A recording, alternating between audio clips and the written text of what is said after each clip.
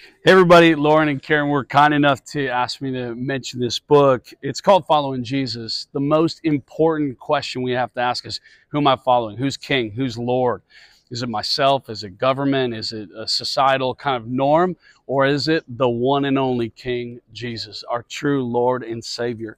Jesus saved us, redeemed us, transformed us. Maybe you're like, yeah, I know that I'm a Christian. I've already made that decision. But you're like, what do I do now? How do I pray? How do I read the Bible? I don't even understand it. You know, what, what is water baptism in church? And why do we do all this kind of stuff? This book, Following Jesus, the apps, other things that are connected to it, your simple next seven steps after saying yes to Christ.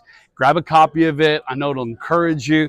If there's Audible, there's all kinds of different ways to engage the content.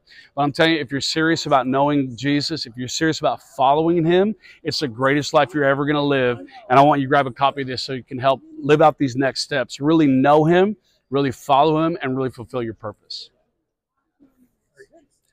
Then my